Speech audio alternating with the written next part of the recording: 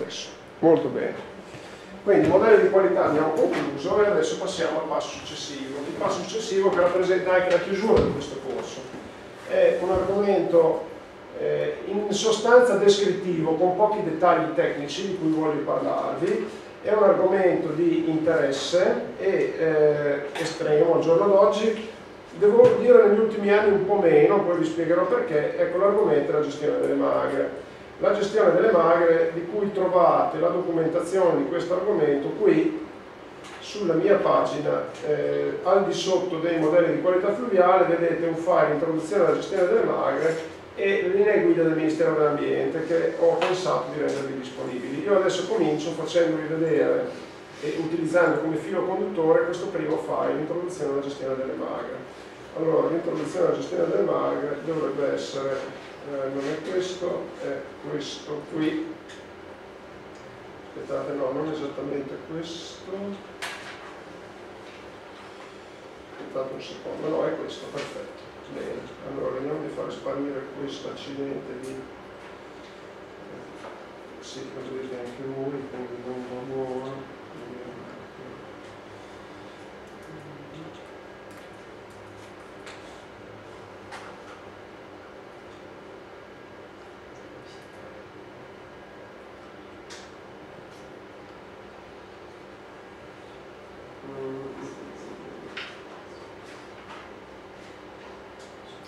Di visualizzazione, scusate un secondo, se ho, sì, ho tutti, bene, quindi vediamo di fare così, bene, ed eccolo qua, lo giro e ci siamo, visualizza, visualizzazione, visualizzazione, destra, molto bene, e vediamo.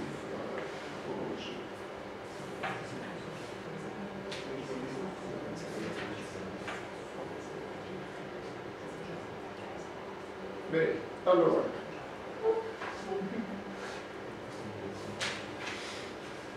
Aspettate che voglio fare una cosa, eh. Che forse qua riesco a visualizzarlo meglio di più.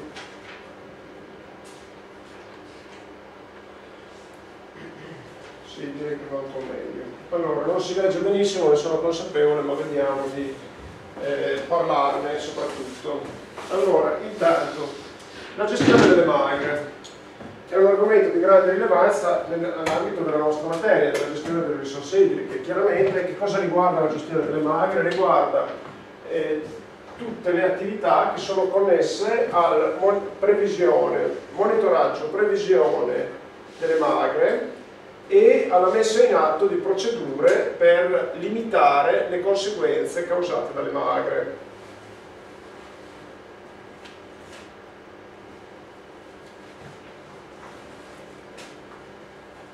Le magre eh, chiaramente sono dei fenomeni estremi che sono estremamente impattanti sul, sul tessuto sociale e anche sull'ambiente, quindi sono fenomeni preoccupanti non solo per le ricadute che hanno sulla società e sulle, ehm, sulla salute e sulla lo status di vita dell'uomo, ma sono importanti, sono impattanti anche nei confronti dell'ambiente. Ecco, quando si verificano delle magre estreme, sono dei veri e propri shock per gli ecosistemi, eh, il cui recupero richiede tempi molto lunghi.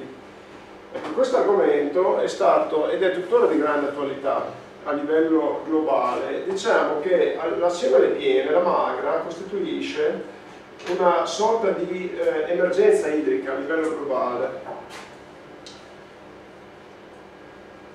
Per quanto riguarda il contesto italiano, la magra è stata oggetto di grande attenzione negli anni dal 2000 al 2010. Dal 2010 in poi non si sono verificate magre estive importanti e quindi se vogliamo la preoccupazione si è un po' affievolita. Voi sapete che in generale eh, nel contesto sociale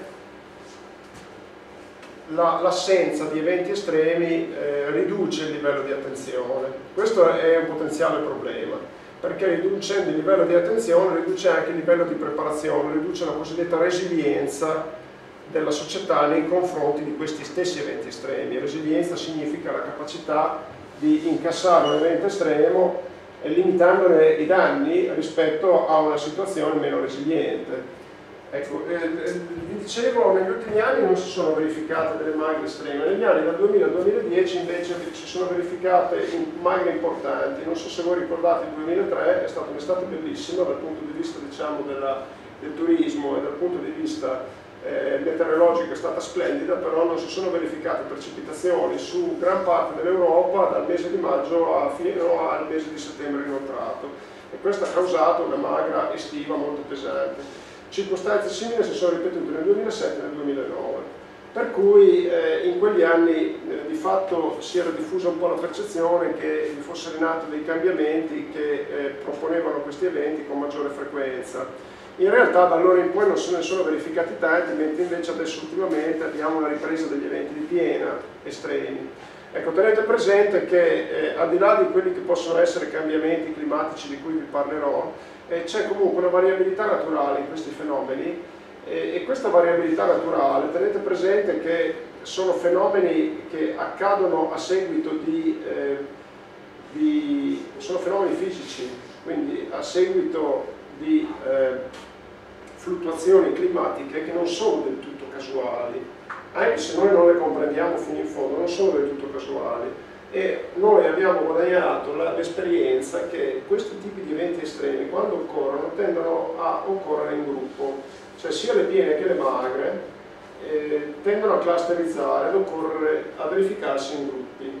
Ecco, questo spiega per quale motivo noi eh, viviamo periodicamente eventi caratterizzati da estremi dello stesso tipo. Ecco, nella Bibbia, tra l'altro, abbiamo già citato questo fenomeno, eh, i sette anni di fame, i sette anni di abbondanza, eh, che Noè appunto eh, doveva, ha dovuto fronteggiare e quindi sostanzialmente sono eventi noti anche se ancora non, non del tutto spiegati. Ecco, morale, eh, la, la, magra in quegli anni ha colpito ecco, a livello italiano ma anche europeo con una certa frequenza, adesso un po' meno. Comunque in sostanza proprio in quegli anni se voi osservate queste referenze che io vi propongo sono tutte referenze che sono datate attorno al 2008-2009 eh, perché proprio in quegli anni anche a livello europeo si è sviluppata una maggiore sensibilità. Ecco, l'approccio che viene proposto per fronteggiare le magre ha una, proprio, una propria articolazione logica eh, che è stata elaborata e proposta dall'Agenzia per l'Ambiente Europea, la European Environmental Agency, in realtà è stata proposta non direttamente da loro, è stata proposta dalla letteratura, dalla letteratura delle scienze sociali, delle social sciences, e eh, questo filologico si articola in diverse fasi. Ecco, le diverse fasi le vedete, questa in inglese, le vedete ehm, evidenziate qui in alto. Ecco, questo praticamente contesto, questo schema logico viene chiamato DeepSIR, dalle iniziali di Driving, Pressure, State, Impact and Response. Vediamo che cosa significa. Praticamente lo schema per l'elaborazione di una procedura di gestione delle magre deve partire dall'analisi delle driving forces, cioè dall'analisi delle forzanti, quindi il clima in sostanza. Ecco, dall'analisi delle forzanti si passa all'analisi delle pressures, cioè eh, delle pressioni sull'ambiente e quindi la forzante che cosa potrebbe essere? Il climate change, potrebbe essere le oscillazioni climatiche, mentre la pressure è data dalle sollecitazioni effettive sull'ambiente, pioggia, evapotraspirazione e temperatura. Quindi le forzanti sono una, una, un meccanismo che sovrintende una globalmente le pressioni, mentre le pressioni sono proprio date dagli impatti reali sul sistema. Quindi distinguete il cambiamento climatico, precipitazioni, vi chiarisce la differenza. No? Oppure potrei dire allo stesso modo clima, precipitazioni. Quindi la forzata, la driving force è il clima e poi invece le pressures sono la precipitazione e la trasposizione della temperatura. Ecco, queste determinano lo stato del sistema che noi dobbiamo eh, comprendere. Lo stato del sistema praticamente quantifica in che situazione il sistema si trova, cioè se è una situazione normale, se è una situazione sofferente e eh, la quantificazione, l'assessment, la, valutazione dello stato del sistema viene fatto attraverso anche operazioni di modellistica. Quindi per noi la valutazione dello stato del sistema la valutazione della disponibilità di risorsa idrica. Bene, l'impatto, quindi l'impatto sullo stato del sistema che queste pressioni danno e in funzione dell'impatto la risposta. Quindi praticamente viene proposto uno schema logico che guardate bene, è del tutto intuitivo. Eh? È del tutto intuitivo, però perché lo si formalizza? Lo si formalizza per chiarire il contesto nel quale si lavora, soprattutto ai nostri interlocutori, ai portatori di interesse. Quindi ripeto, analisi delle forzanti, cambiamenti climatici, cambiamenti indotti dall'uomo, analisi delle pressioni, precipitazioni, temperatura, analisi dello stato del sistema, un sistema che sta bene, un sistema che sta male, l'impatto delle pressioni sul sistema e quindi potremmo dire sostanzialmente che non succede nulla oppure che si verifica una piena, che si verifica una magra e poi la risposta.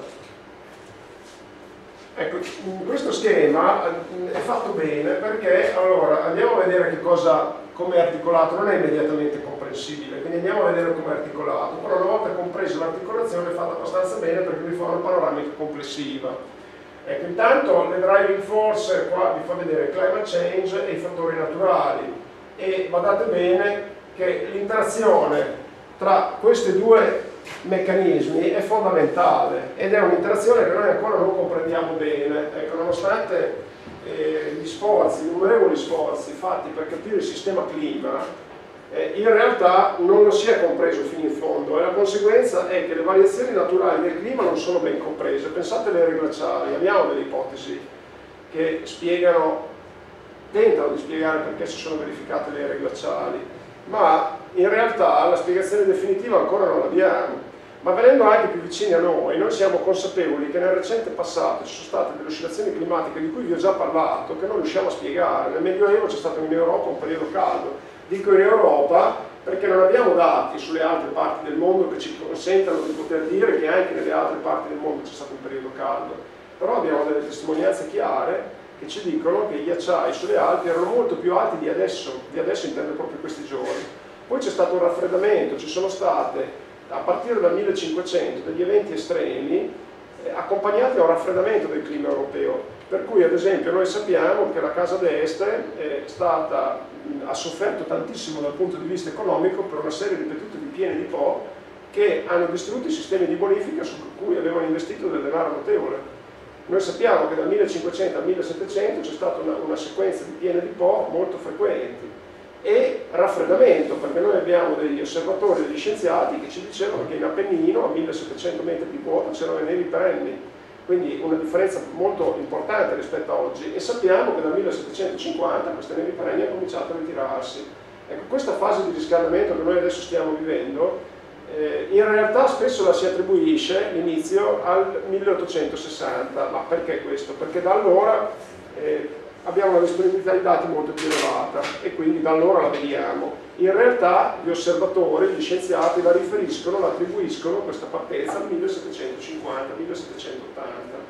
Da lì in poi è iniziata questa fase di riscaldamento, la cui storia recente la conosciamo perché sappiamo che negli anni dal 90 al 2003 c'è stata un'impennata della temperatura media globale e sappiamo che dal 2004 ad adesso, quindi per una decina d'anni, la temperatura media globale si è assestata Ecco, queste variazioni noi le conosciamo ma non ne sappiamo spiegazione, non ne conosciamo assolutamente, la comunità scientifica sta dibattendo.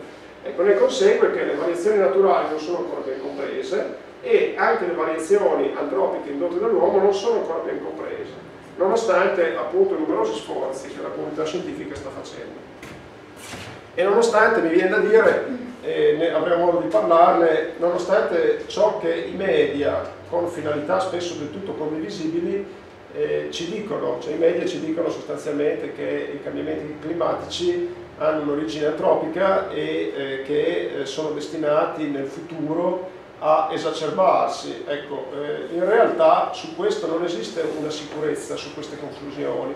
I media eh, propongono queste versioni perché giustamente vogliono sensibilizzare l'attenzione, i media poi riflettono ciò che gli scienziati propongono loro, si vuole sensibilizzare l'attenzione sul problema, e quindi si tende a fornire un'interpretazione che è eccessivamente pessimista. Bene, quindi queste due interazioni, variabilità naturale e climate change, eh, si traducono sulle precipitazioni, evapotranspirazione e temperatura. Ecco, tenete presente che mentre sulla temperatura le tendenze sono chiarissime, cioè quelle che vi ho descritto, sono delle tendenze che soprattutto nel passato recente sono ben assodate, non c'è alcun dubbio che la temperatura globale adesso sia in una fase di risalita, non c'è alcun dubbio. Poi se andiamo a eh, cercare di capire che cosa succederà nei prossimi vent'anni non lo possiamo dire, però non c'è alcun dubbio che adesso siamo in una fase di riscaldamento. Noi abbiamo i ghiacciai che si stanno ritirando a vista d'occhio e che ce lo dicono. Ecco, l'effetto invece sulla precipitazione, sull'evapotraspirazione, eh, qui ver diventa veramente complicato cercare di capire, perché c'è stata una eh, per anni si è pensato che l'incremento di temperatura a livello globale abbia favorito un incremento di evapotraspirazione. E questo capite che per noi è importante perché l'evapotraspirazione incide sulla disponibilità di risorse idriche in modo significativo. Nel breve termine no, ma sul bilancio di lungo periodo eh, l'evapotraspirazione si porta via un 40% della precipitazione, se ricordate gli ordini di grandezza che abbiamo visto. No? Ecco, ehm, quindi questo è importante perché anche un innalzamento di temperatura minimo, se si traduce in un innalzamento di evapotraspirazione corrispondente, a noi crea problemi. In realtà ci sono stati studi recenti, l'argomento è estremamente dibattuto, che hanno trovato che l'incremento di temperatura favorisce un incremento della copertura nuvolosa e quindi si traduce alla fine in una compensazione della evapotraspirazione. E poi inoltre ci sono anche delle variazioni nei movimenti dei venti a livello globale che non sono ancora ben comprese e pare che si traducano in una diminuzione a livello globale della velocità del vento che è stata osservata negli ultimi decenni e quindi una riduzione della velocità del vento ha causato un calo della traspirazione. Quindi questi studi partendo da analisi appunto della copertura nuvolosa e di velocità del vento a livello globale, nonché osservazioni di evapotraspirazione, studi recenti pubblicati su Science, hanno dimostrato che non è chiaro quello che è il trend sull'evapotraspirazione. Ecco, sulla precipitazione va un ragionamento analogo, nonostante vi siano degli spot, delle località dove sono visibili delle variazioni di precipitazione, Ecco, in realtà queste variazioni sono difficili da interpretare, quindi anche la conclusione che le precipitazioni estreme siano incrementate non è una conclusione supportata da dati inequivocabili. E questo teniamolo presente perché, ripeto, sul, in ambito di clima le certezze che ci sono sull'andamento della temperatura non corrispondono ad altrettante certezze sugli andamenti di evapotraspirazione e precipitazione. Bene, a questo punto però le vedete queste sono sotto le pressioni e poi lo stato, lo stato indisturbato qui è indicato come natural water balance, cioè sostanzialmente lo stato del sistema, noi lo sappiamo benissimo questo, come si quantifica? Facendo un bilancio idrico, per cui noi abbiamo un volume di controllo, facciamo un bilancio idrico e chiuso, con quello quantifichiamo lo stato del sistema, abbiamo troppa acqua, ne abbiamo poca, questa è la nostra conclusione. Ecco, questo natural water balance però, nel momento in cui eh, si entra in una situazione che subisce degli impatti, eh, allora può dare luogo a uno stato del sistema che non è più naturale, dovete interpretarlo così, ma è disturbato. E quindi uno stato del sistema dove c'è un over abstraction, ovvero l'utilizzo eccessivo di acqua, un prelievo eccessivo di acqua, e quindi un sistema dove i livelli idrici nella falda decrescono, un sistema che a causa del decrescere dei livelli di falda è soggetto a intrusione salina nelle aree costiere, un sistema caratterizzato da livelli fluviali più bassi, da livelli più bassi nei serbatoi artificiali, da una perdita di zone umide conseguente alla siccità e da un sistema, a un sistema caratterizzato da conseguenze ecologiche eh, negative. Ecco, tutte queste sono attributi dello stato del sistema. Ecco, la divisione tra uno stato naturale e uno stato sofferente è data da questo Water Exploitation Index, che adesso io vi definirò, che nel momento in cui viene superato causa uno stato perturbato e uno stato di preoccupazione. Ecco, la valutazione dell'impatto e quindi la valutazione delle condizioni di magra, la valutazione di un deficit di precipitazione indotto dalle pressioni, quindi una volta che lo stato del sistema è stato decifrato, noi passiamo a valutare l'impatto delle pressioni. Queste due valutazioni possono essere fatte contestualmente, intendiamoci, nel momento in cui valutate lo stato del sistema, voi introducete le pressioni in questa valutazione e trovate immediatamente l'impatto. E poi c'è la fase che a noi interessa molto della risposta, quindi che cosa si fa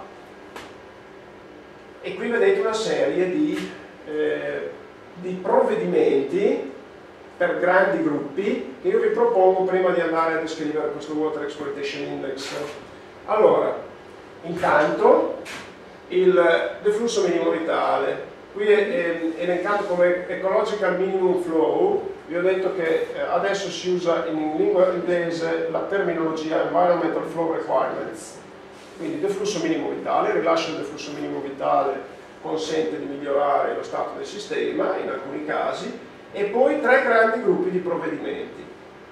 La gestione della domanda e la gestione della distribuzione e poi la gestione integrata. Allora, la gestione della domanda.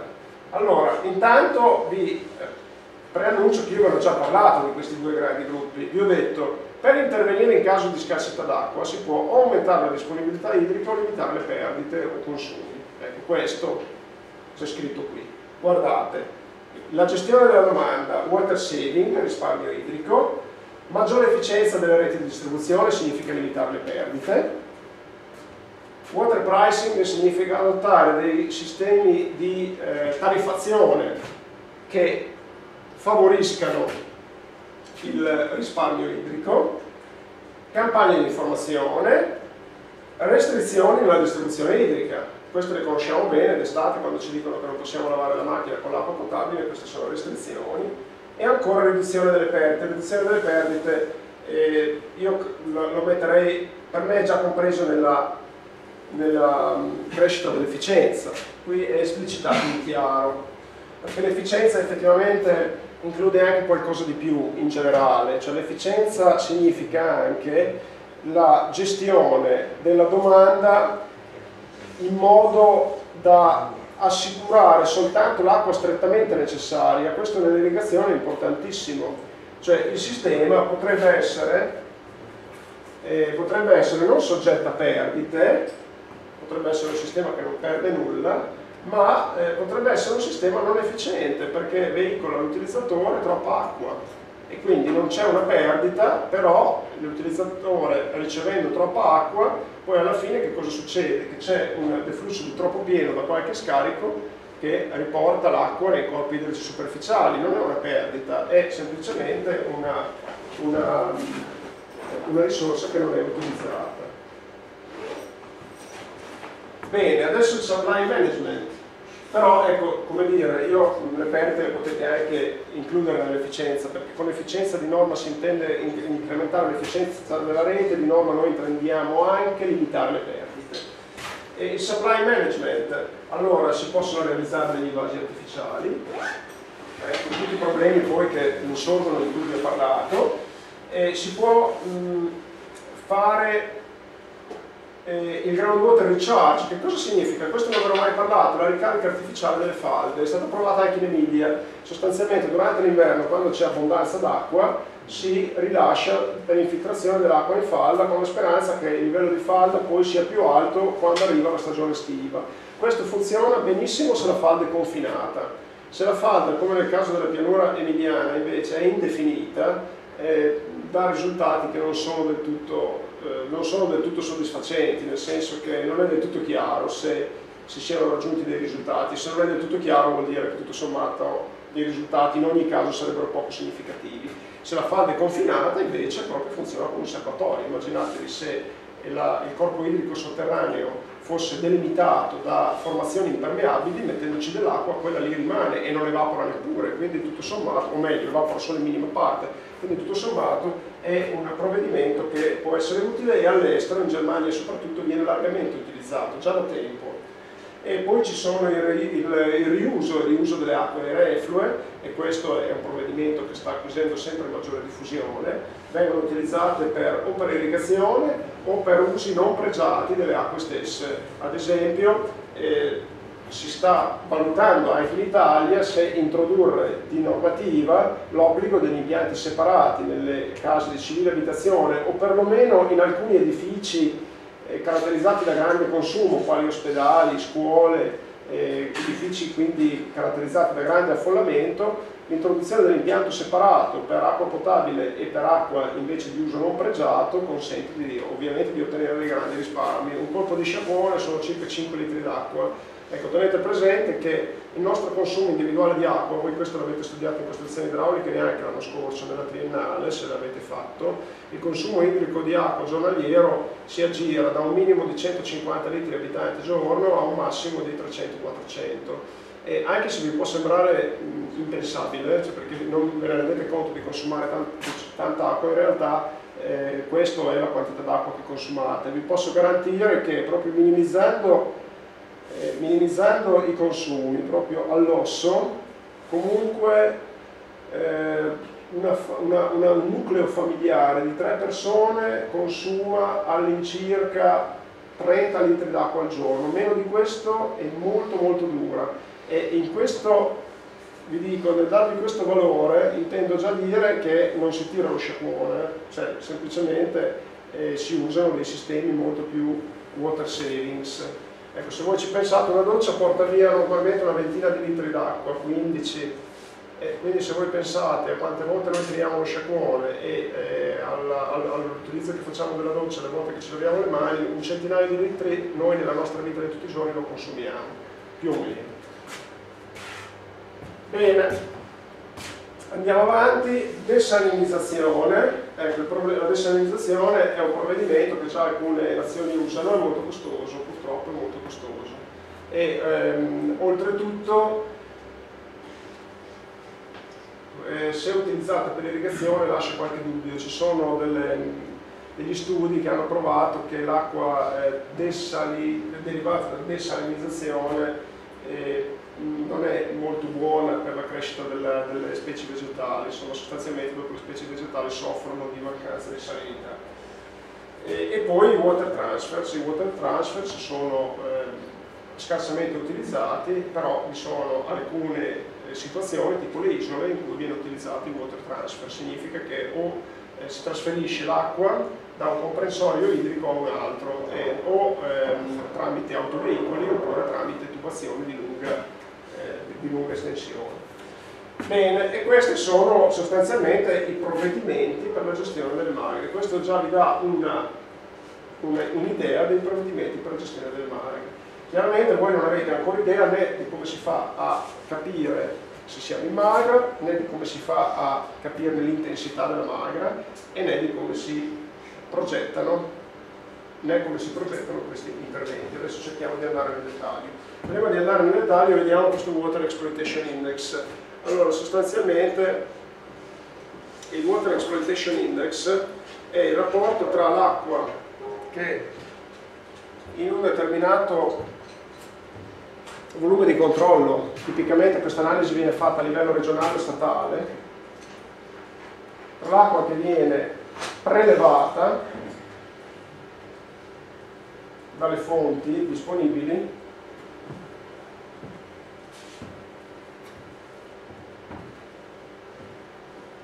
e il totale di acqua dolce disponibile.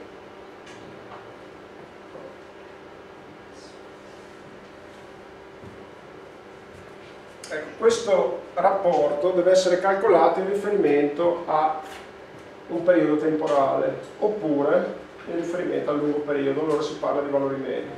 Cioè questo rapporto, eh, intanto lo ripeto come si definisce, è il rapporto tra l'acqua prelevata dalle fonti disponibili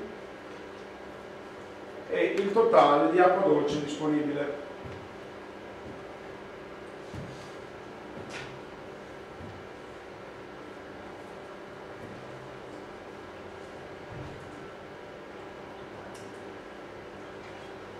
E questo rapporto deve essere calcolato in riferimento a un contesto spaziale e a un periodo temporale. Per il periodo temporale di solito si fa riferimento al medio e lungo periodo e per invece il contesto spaziale tipicamente si fa riferimento a una regione o a uno stato.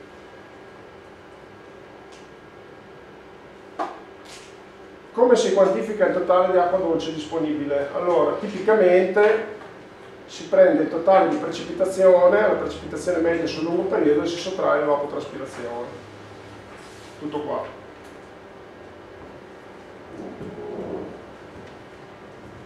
Se vi sono altre fonti le si conteggiano, se c'è un water transfer va aggiunto a questo. Però in condizioni normali, ad esempio sul suolo italiano, la, eh, la fresh water availability, la montare di acqua dolce disponibile viene calcolata prendendo all'incirca 500-600 mm all'anno e moltiplicando questa altezza per l'estensione del territorio nazionale. 500-600 mm è la precipitazione media sul territorio italiano meno l'evapotraspirazione, direi che 5, forse anche 450, adesso non me lo ricordo, ve li ho fatti vedere questi numeri. Eh, la, la, la, precipitazione netta si moltiplica per la superficie del territorio nazionale uno trova la, ehm, da montare di acqua dolce disponibile. Ecco, questa è chiamata anche eh, risorsa idrica rinnovabile.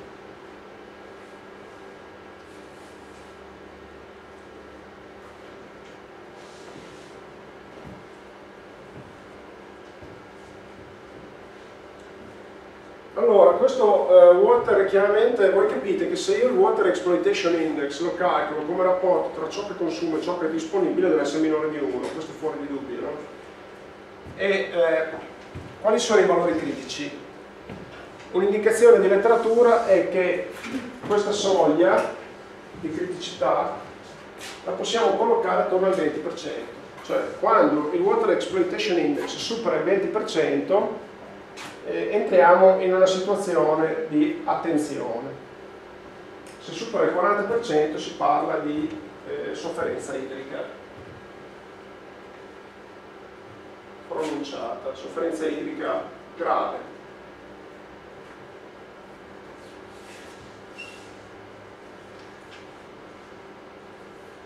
Vediamo qualche statistica, adesso cambio e vi faccio vedere un documento che non è disponibile, questo l'ho trovato questa mattina sul, sul web.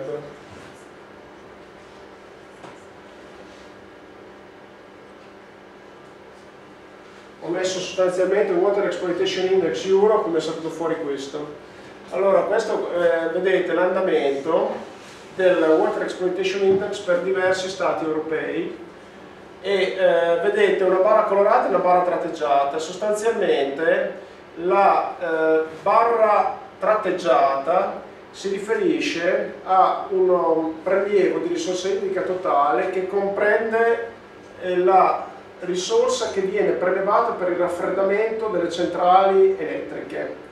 Ecco, questa risorsa, quindi la vedete appunto qui tratteggiata, per alcuni paesi questo prelievo è molto significativo, per l'Italia non lo è tanto, come vedremo, perché l'Italia lavora molto sull'idroelettrico, che non ha bisogno di raffreddamento. Però per alcuni paesi invece il prelievo di acqua dolce per il raffreddamento delle centrali, che viene chiamato anche eh, energy cooling, è molto significativo. Questo prelievo viene solitamente fatto dai laghi e poi l'acqua viene restituita perché attenzione, qua stiamo parlando di prelievi, i prelievi non implicano, o meglio, i prelievi implicano che parte dell'acqua viene restituita, quindi non dovete pensare che questo prelievo si traduca in un consumo, eh? cioè quando nel caso delle centrali, questo è chiaro, l'acqua di raffreddamento viene restituita all'acqua dove viene prelevata e viene restituita esattamente dove viene prelevata, quindi non è un consumo, però si verifica un prelievo e quindi qua è stato visualizzato, intratteggiato e voi potreste dirmi ma scusi ma a noi che cosa interessa? Non è un consumo, l'acqua viene prelevata da lì, restituita lì, non è neanche un depauperamento perché c'è un continuo interscambio. Ecco, no, non è sempre così perché intanto mh, la restituzione non è esattamente pari al prelievo, c'è una parte di evaporazione, ma non è questo il problema. Il problema è che questo circolo di acqua provoca il riscaldamento dei laghi, per cui questo è un problema a livello europeo che è molto pronunciato e su cui la ricerca sta compiendo ricerche molto approfondite, perché i grandi laghi tipo il lago di Costanza, ad esempio, hanno subito un riscaldamento negli ultimi 30 anni notevole. Questo riscaldamento comporta calo della qualità delle acque, un impatto sull'ecosistema, un impatto sul clima e questo riscaldamento si è verificato che è dovuto solo in minima parte all'aumento di temperatura globale. In gran parte, e qua stiamo parlando di riscaldamenti che sono dell'ordine anche dei 2 gradi, non è roba da poco, la temperatura globale negli ultimi cent'anni è salita di mezzo grado, quindi tenete presente questi ordini di grandezza, quando si parla di riscaldamento del pianeta, temperatura globale, negli ultimi cent'anni si parla di mezzo grado, con delle incertezze in gioco, e invece sui laghi si parla di un paio di gradi. Ecco, quindi questo utilizzo è un utilizzo che desta preoccupazione perché poi impatta sulla qualità delle acque. La stessa acqua dai laghi viene poi prelevata anche per uso civile e quindi ci sono degli impatti se l'acqua decade di qualità perché viene riscaldata. Bene, allora comunque qua vedete l'andamento del Water Exploitation Index. Intanto vedete che ci sono le, ehm, le, gli stati del nord che stanno benissimo, questo per ovvie ragioni, perché là piove di più, eh, c'è meno caldo, hanno maggiori disponibilità idriche, invece ci aspettiamo che nel sud dell'Europa la situazione peggiori.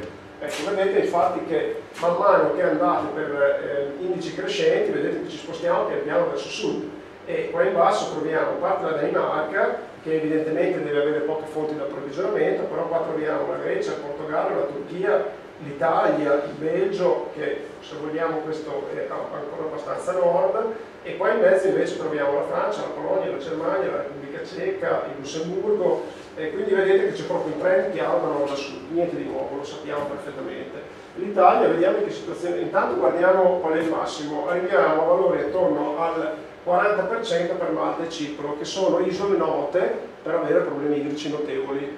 Ecco, l'Italia però non è tanto distante da quei livelli, comunque al di sotto del 30%. Ecco, l'Italia chiaramente se la dividessimo tra Italia del nord e Italia del sud ci renderemo conto che al nord probabilmente ci assistiamo attorno al 20, al sud andiamo